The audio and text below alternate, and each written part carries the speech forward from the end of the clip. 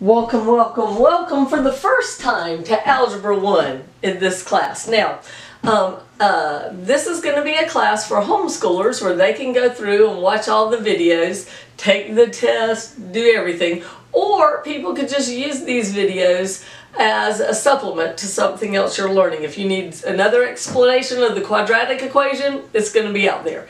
So, but the um, this is going to be covering Algebra 1, and the text that I'm going to be using is McDougal-Littell Algebra 1. It's an older edition. I like it better than, I have a lot of the new edition too, but the old one's better. It's better organized, and it does a better job of showing what's important and what's not. So this is the one. Um, any state is fine. Uh, like some of them say California edition, Texas edition, Florida edition, it doesn't matter which one. The number for it, the ISBN, will be in the comments.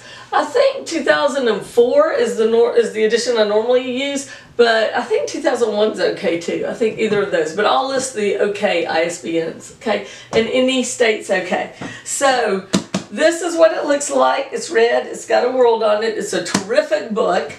And um, now, do you need the teacher's edition, you moms out there? You really don't. You could buy it if you want. What the teacher's edition is going to have that the student edition doesn't is answers to the to the evens also. The students have answers to the odds and I only assign for homework the odds and I'll tell you about that in a second. But the um, but it would also have answers to the end of chapter tests. So you might want it for that.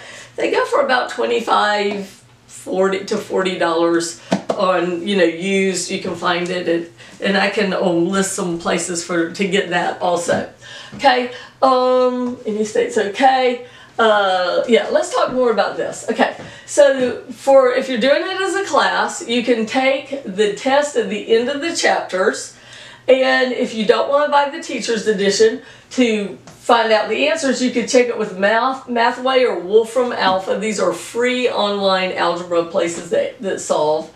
Um, or uh, you could, there is a Facebook group that goes with this class it's like called Miss Lisa's Algebra 1 or something like that, Mrs. Lisa's. Um, it's a, like a secret group uh, because there will be tests and answers on the group. So we can't just, we can't put tests and answers out there. There are a lot of schools who still use these books and they would not appreciate it if I put all the answers out on the internet.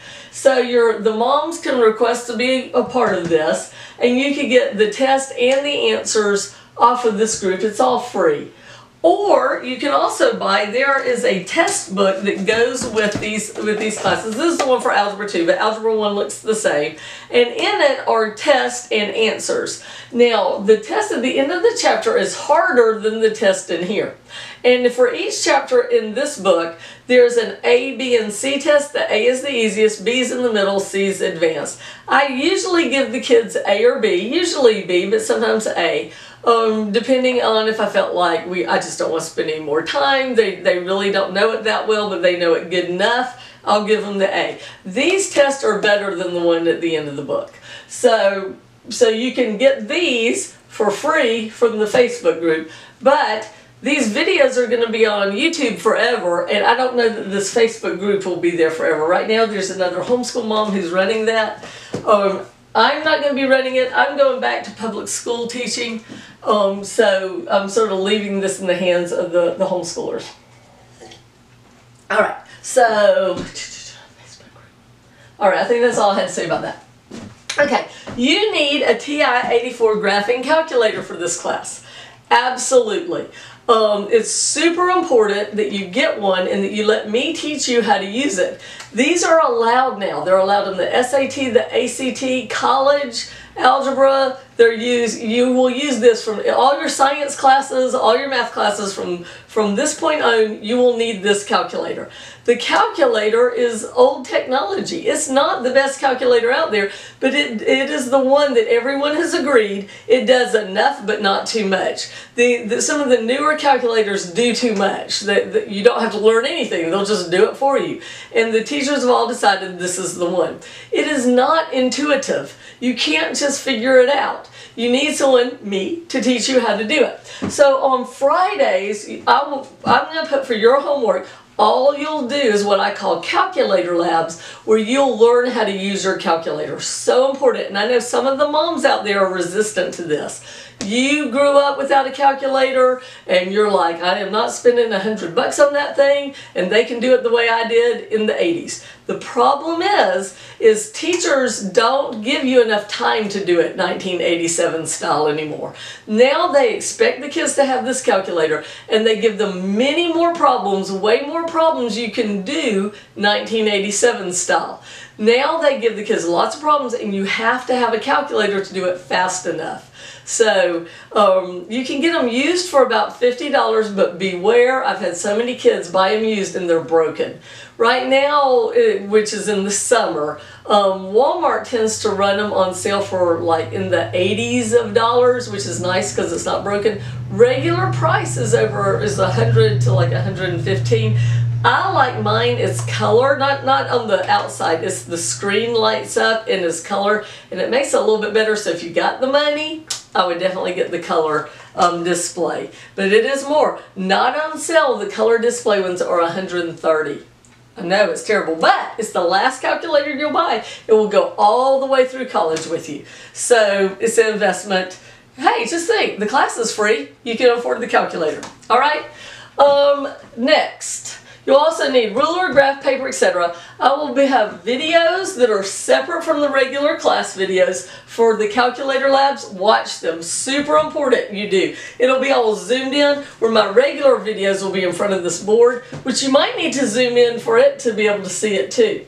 Um, the homework will be in the comments, what I want you to do for each section. It will be odds only. Also, you do, you do not need to do every problem in the book you will die. It's way too much. Um, so I pick and choose the important stuff. Like a lot of times they give you word problems that they even haven't taught you enough skills to know how to do. So we'll be skipping a lot of those. So um, just do the homework I assign. Do not kill yourself.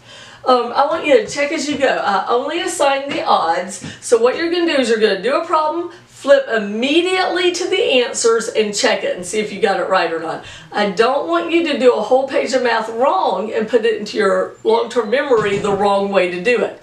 Oh, if you if you got it wrong, I want you to figure out why you got it wrong and fix it and then before you go on to the next one. I don't want you putting wrong math in your brain. Um, watch the videos. There'll be I've had kids this summer doing this class and they tried doing it without watching the videos. They thought, ah, I'll just skip that and do the homework. And they did terrible and failed the test. So watch the videos. Very important. You need to pause them. Like after I work something, pause it and then you work it and make sure you understand it and then push play again. You, you don't have to sit there and watch them straight through. I want you to hit pause as you're watching the videos. They're short. You can do it. Um, the other thing is, if you're still completely lost, you can go watch Khan Academy, but this is, but beware, beware, beware, um, beware because there are 10 ways to do just about any algebra problem. And if I teach you one way and Khan teaches you another way, you, I've seen it over and over again where you end up knowing no ways. I know that's probably not good grammar. So why? So I want you to try to just stick with me and even don't you know, ask your grandpa how to do it because the more you have consistency and repetition, the more you're going to understand it and the more it's going to go into your long-term memory. Um, I used to teach public school and I taught, I don't know if I told you this story or not, or not because I'm, I'm recording these videos back to back, so forgive me if I have.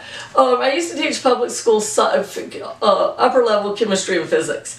And whenever I got the kids, they did not know how to do their math. And I would just fuss. What are those math teachers doing? Are they down there eating donuts? I wish I got paid to not teach math. I was very smarty. I know.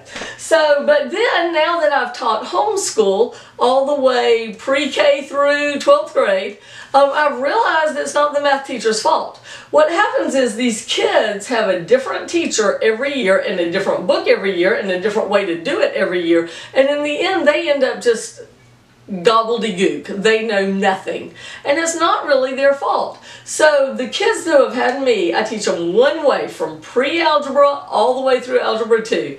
And they end up hearing the same things over and over and over again, learning one way to do it with this one series of books, and they end up knowing it. I've had so many kids come back from college algebra going, it was easy, Miss Blackbird. It was just so easy. I already knew everything before I went into that class. They didn't teach me anything new. I made straight A's, and I'm like, yes.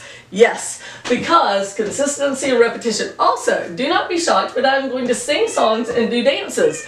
All of this is to help make little hooks where it goes into your long-term memory, where you're not like my public school kids who did it, made A's on it, but then just forgot it.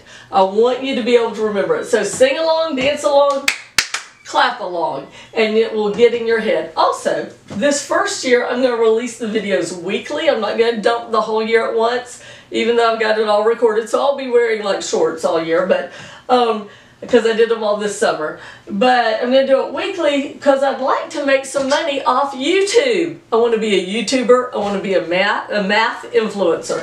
So like, share, and subscribe. And hopefully, since I'm putting all these classes out free, I'll be able to make a little bit of money um, from YouTube. And that way you guys get blessed with free math and I get blessed with some YouTube money. So like, share, and subscribe. Tell all your homeschool friends about it. Share it with all your homeschool groups.